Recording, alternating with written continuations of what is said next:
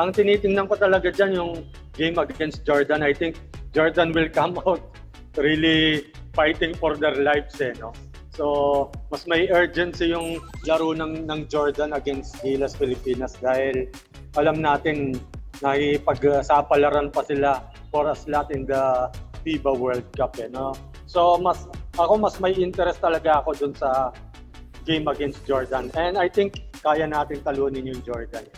Yung sa Lebanon, di ko nakikitaan yung team kung whatever yung magiging resulta dun sa uh, sa game against against Lebanon. Siyempre, maganda pa rin if, if we're going to beat them. Mas maganda sa moral at saka pang-boost know, overall na performance naman.